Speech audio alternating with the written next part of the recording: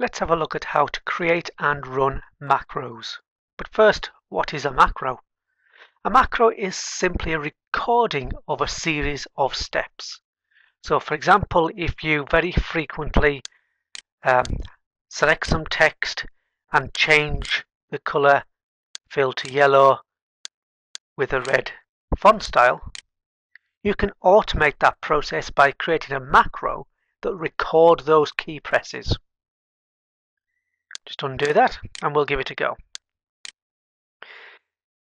The menu we want is Tools and then we drop down to Macro. In the submenu, the first thing I want to talk about is security. Macros can hide all kinds of dangerous programming, so you do have to be careful. There are four levels of security. I've got mine set on low, but as you can see that's not recommended I only do that because I know I'm only working in a very secure environment.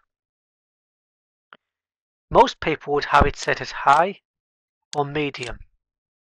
So high will only allow signed macros from trusted sources, and I'm not here to explain how to get trusted sources macros.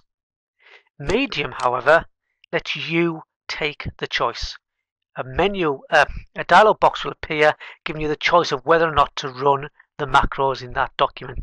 So my suggestion to you is that medium is probably best. Every time you open a document with a macro in it, you'll get a message saying, is this okay? Okay, let's record a macro. Tools, drop down to macro and select record new macro have a little dialog box to fill in. First, we need a name. So let's put this as change color. Just if you want to use more than one word, use an underscore because you can't use spaces. We can assign the macro to a keyboard shortcut. So for example, in there if we put Control X, it means every time you press Control X, the macro will run. That can be very useful, but just be careful your computer system will already have a lot of control sequences built in and whatever you type in there will automatically overwrite what is already set up. So if I put Control A in there, for example, Control A normally selects everything on the screen. Or in the application, Control A, if I put it in there, will then run the macro. So you're destroying what's already there. So you've got to be using that with care. Where do we want to store the macro? Selected by this workbook is the standard, but there are other choices. And I'll just mention personal macro workbook. If you want the macro to be available to you on every document that you create on your computer, every Excel document that you create on your computer, then store it in the personal macro workbook. That will make this available at all times. If you want the macro to be just fixed to this one document that you are working on, then select this workbook. Because I'm just playing around creating macros, I'm just going to select it to this workbook. And then OK. We've got the recording macro toolbar there. Now nothing is happening. All that happens is that it records your key presses. So it doesn't matter if I take a little bit of time not doing anything. It's not a time-based thing. So we want to create a macro that's going to change the cell formatting and the color of the font. It doesn't matter whether, which cells I've got selected for this. I've just got one cell selected. I'm going to click on the fill color and change it to yellow. That sequence of key presses has been recorded. And now change the font color to red and that's recorded also. Once you've finished your recording, press the stop button. Don't close the toolbar. Stop recording. Recording stopped. I can now undo the changes that I made while I was creating the macro. Let's see if it works. I want to add that formatting to our titles. So to do that, we need to run the macro. I select Tools, drop down to Macro, and this time we're selecting the macros menu.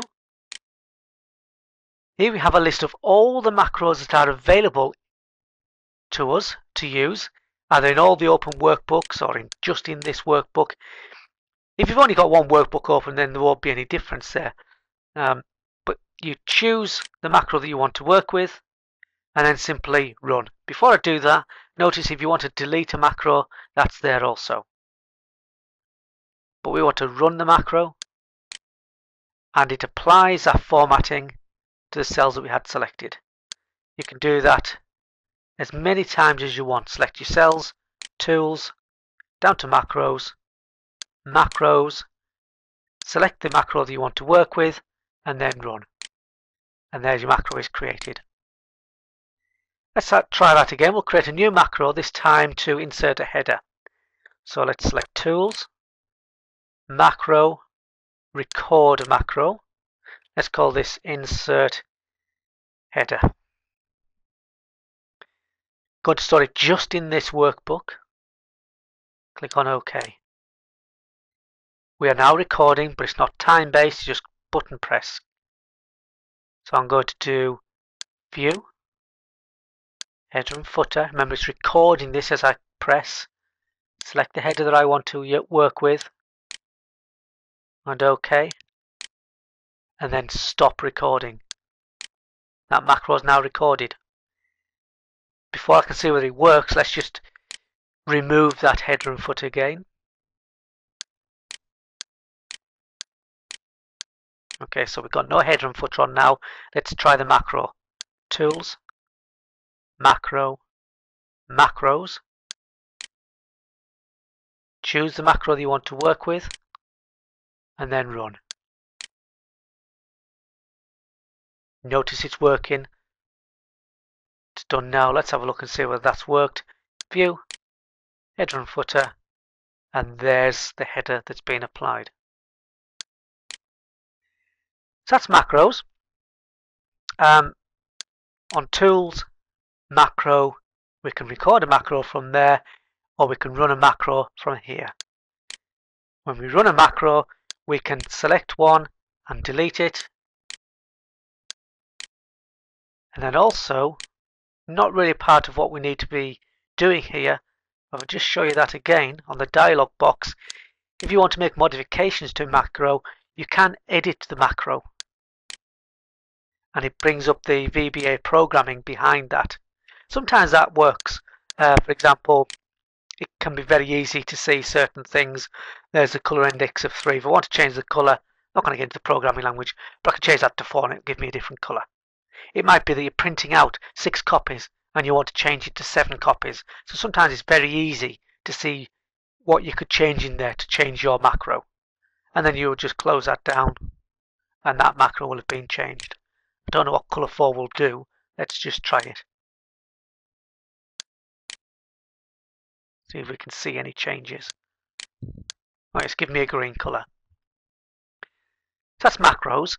Um, in the next video, we're going to look at how to add those macros onto toolbar buttons. But for the moment, macros, tools, macro, record a macro, run a macro. Have a go. You can do all kinds of things. You can do sorting, formatting, you can create macros that print 10 copies at the simple press of a button.